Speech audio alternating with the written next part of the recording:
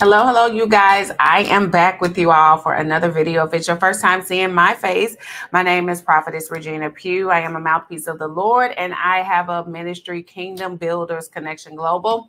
It will be linked in the description box or the comment section, so you could go over there and check things out if it's your first time coming across this platform, you guys. I'm going to jump right in. I am talking to uh, the prophetic people on tonight, prophetic seers as well as Nabi prophets. Um, and I want to talk about something um, that I have worked through. I am working through something that I believe is. Um, a struggle for most prophetic people, okay? And that is the struggle with time, uh, being in the present, and versus the promised place. Okay. Does that make sense? Struggling with time. Okay. God has shown you where he is going to take you. God oftentimes tell us uh, where we will end up. He reveals to us the great and mighty, wonderful plans and promises that he has in store for our lives.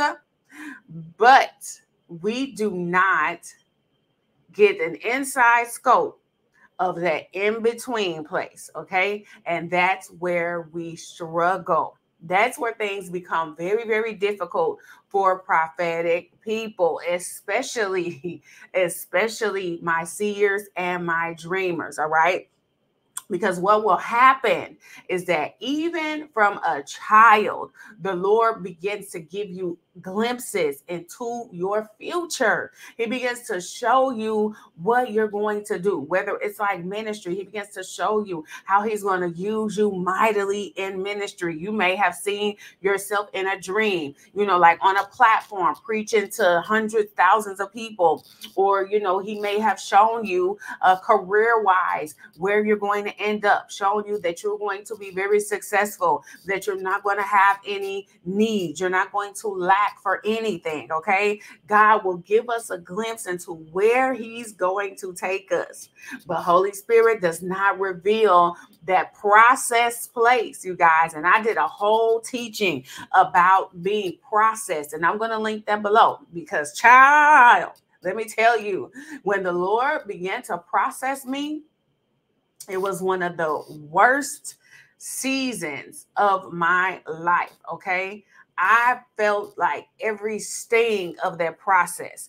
And I was like, Lord, what's going on? Like this season is different from any other hardship that I have ever faced. The process comes with, I'm speechless. I'm speechless. But I know that by my going through that and what I experience will help somebody else understand and know when God is processing you and when God is trying to work things in you, out of you, and when He's trying to prepare you for your promised place. Okay. When He's trying to prepare you for ministry or whatever, He's trying to get your character intact, your integrity. Because how many of you all know, as prophetic people, we got to be all the way together all the way together. You can't have no loose strings. And God is extra hard on his prophets. Why? Because if he's going to trust you to be a mouthpiece for him, to be a representative for him, you're going to. Where is that squealing? I'm sorry, you guys. It's my desk shaking or something, but I'm sorry.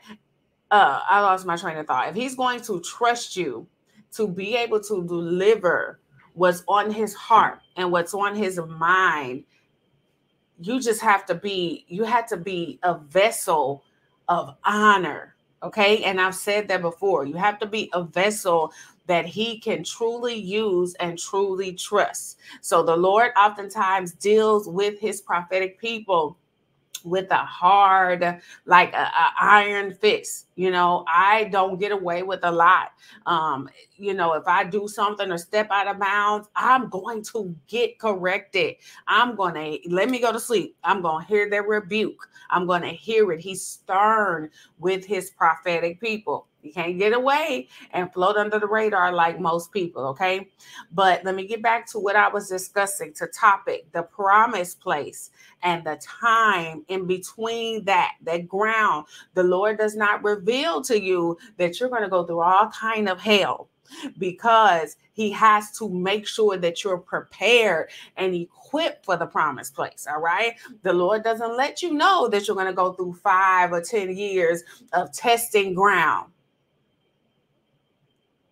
Okay of testing ground to make sure that you are pruned, to make sure that you are refined. Okay. So, you guys, I come to just encourage you on today to let you know uh, don't faint. Don't faint in that middle ground, that process place, because God is going to get you to your expected end if you faint not. Isaiah 40, 29 through 31. I just want to read that. I know y'all have heard that before, but I want to read it. I want your spirit man to hear it. Okay. I'm, I'm reading from new from New King James, and it says, He gives power to the weak.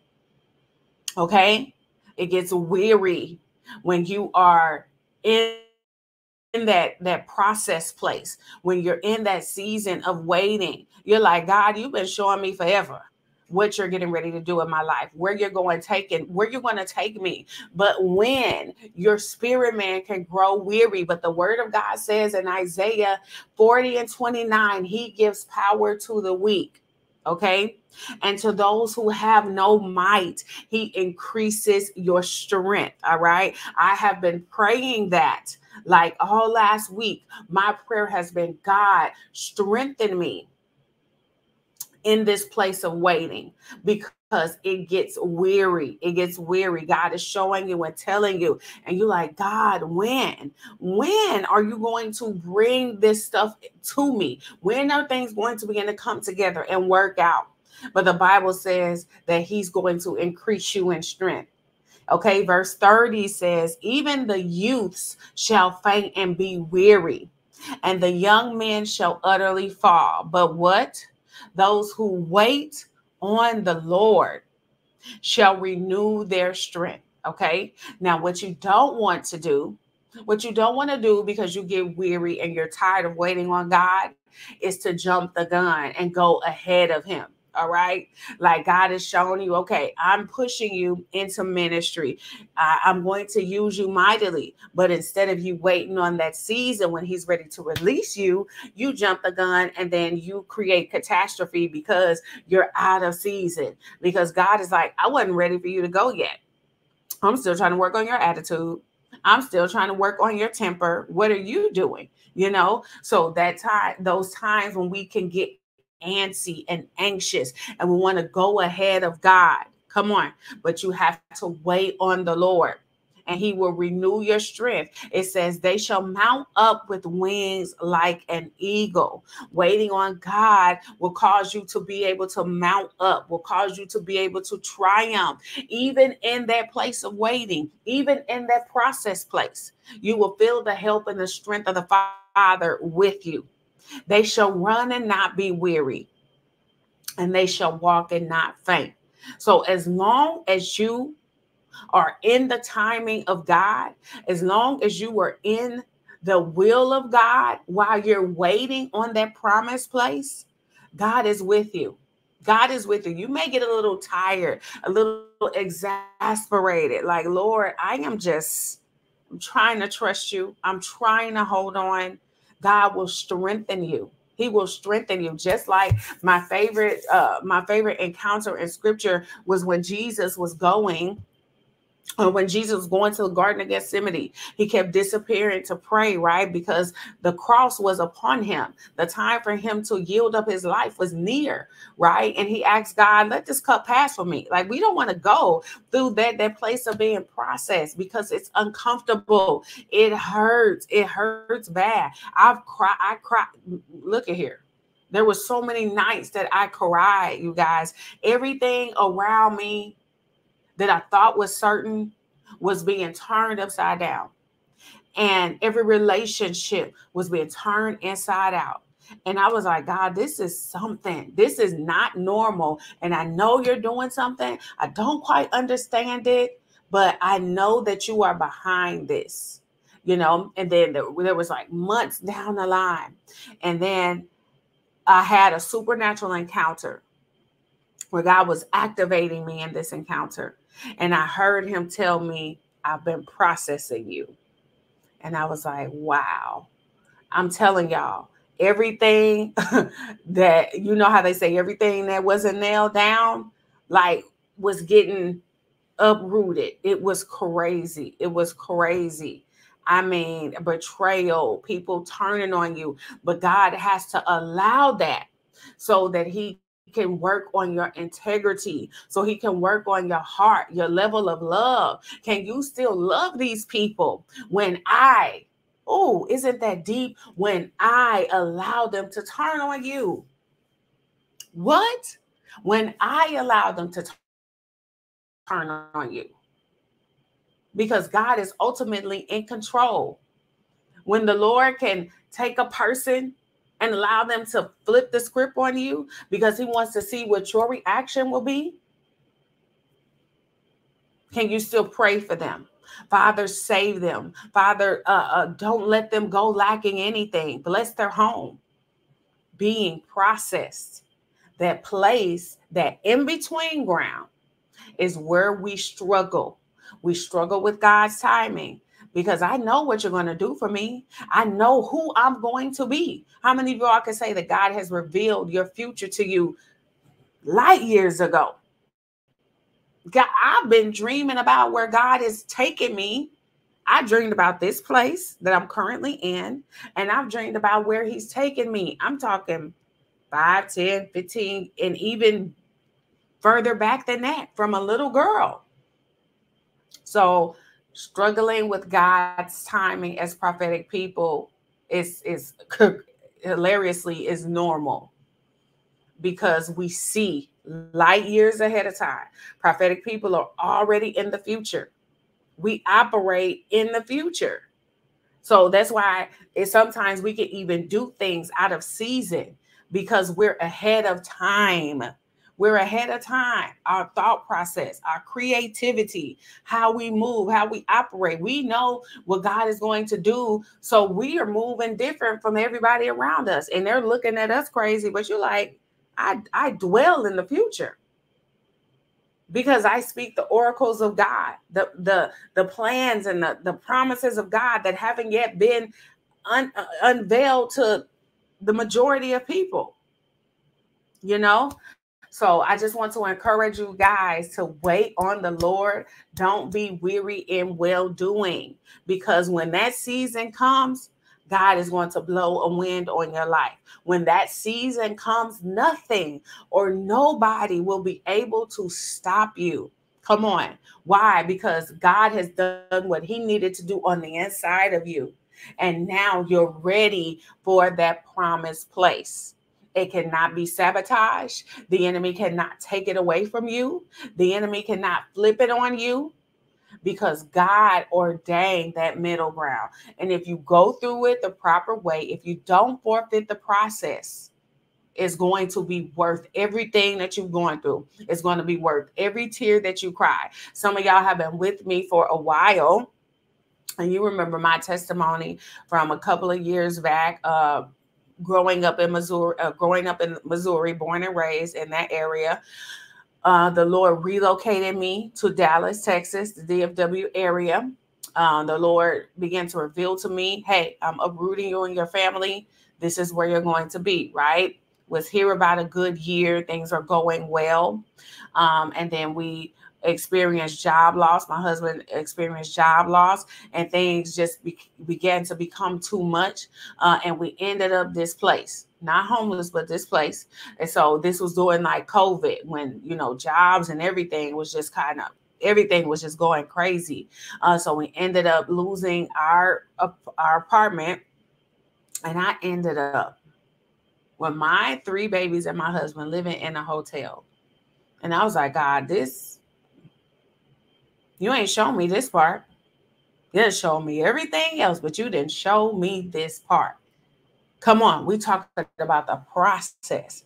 Y'all talk about the nights I cry, the nights I set up with God. Come on. And uh, in that place, in that place though, I, God wouldn't let me faint. You will faint not. The Lord was steadily talking to me and ministering to me and telling me, I've ordained this place. You have to go through this. This is going to strengthen your faith. This is going to strengthen your walk in me. Yeah, I, I did this. I allowed this. What? Come on.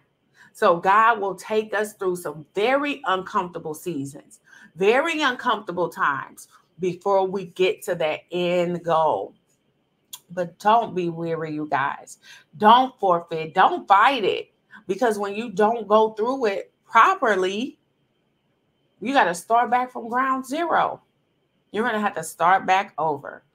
Or God's going to have to set the reset button. And who who wants to do that? Who wants to do that?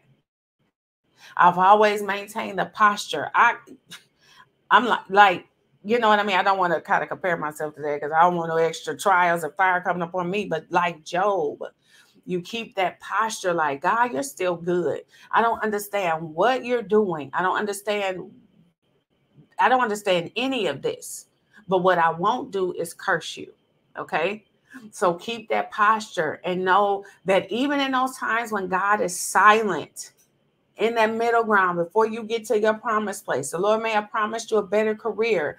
He may have promised you a better job. He may have promised you a spouse. You're waiting to be married. Whatever it is, do not faint because it's working for your good. It really, truly is. It really, truly is. Okay, you guys. So I hope that this really blessed you. I wanted to speak to that place that so many of us prophets struggle with. Don't jump the gun. Don't go ahead of God. Just follow him. He's going to lead you. Stay stay right beside him. Even allow him to carry you through it so that you can be sure that you're on the same page as he is on. Okay. I love you guys so much. God bless you. And I will see you in the next video. Um, you guys, if you are a prophetic seer and you maybe you haven't heard much about this, you may have a inclination, you may somebody may have told you that hey you you may be a prophetic seer or you sound like you have the the gift of of, of sight in the spirit realm or, or you've heard people say that hey you you operate in the gift of the prophetic but you're not really sure. You're not really sure. You're trying to learn this language and figure this stuff out. You guys i also have an ebook um, that i have written for you guys. Free download. Get it. And it's entitled why seers are vital to the church, okay? Because prophetic seers are the watchmen on the wall. The body of Christ needs the watchmen, okay? It, without the sight, without the eyes of the body, like what are we doing? We're feeling around in the dark. So this position is vital for the body of Christ. All right. So get that ebook if you want to know more about your gift, if you want to uh, further figure this thing out, I, I a lot of people that follow this channel um, have learned by way of my testimony hey I think I'm a prophetic seer. I think that God has given me this gift. And I am so grateful to God just to be able to be an example because I had to figure it out on my own. I don't come from a lineage or a line of prophets, uh, you know, so I literally have been walking hand in hand with Holy Spirit and working out this gift and, and figuring this thing out and learning uh, how God used me in my sight. Even when people didn't understand, people thought I was dreaming and making stuff up and I'm just like, no, no, you know. So be encouraged, be strengthened in your gift, all right? And don't let anybody um down talk or downplay what it is that God has given you because the seer's anointing, the prophetic anointing is a very precious gift. James Goll, which penned the uh, book The Seer, which was one of the very first books that I read when I started taking a deep dive into figuring out what I had on the inside of me. Uh, one of the quotes that stood out to me was he said, All seers are prophets, but not all prophets are seers. Okay. So you kind of see that advantage. All seers are prophets, but not all prophets are seers. So there's an extra um, level of sensitivity that the prophetic seer operates in and under. Okay. That's a special and it's a unique anointing.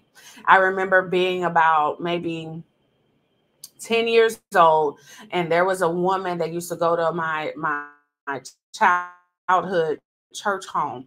Uh, she transitioned during that time like i was still about 10 or 11 years old but every time she would see me she would say you are very peculiar you are so special. Your anointing is so unique. And i'm young and i'm like okay i didn't understand it then you all. I didn't understand it. But she would pour those words into me almost every time she would see me.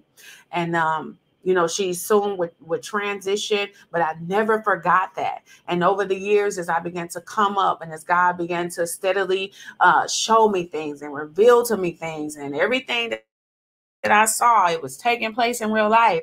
I would have a dream and I would go to my mom, Mom, I saw this. And then it would unroll, unravel exactly how God showed me. Those words never left me. Okay. Prophetic seer is very unique anointing very peculiar anointing. All right. Uh, so, you guys, I love you so much. Get the ebook and take advantage of that. And I'll see you next time. Bye bye.